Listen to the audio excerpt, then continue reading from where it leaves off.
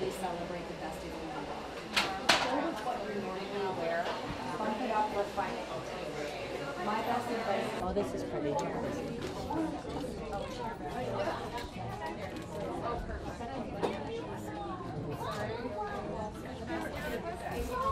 Well, welcome to my Spring 17 bridal collection.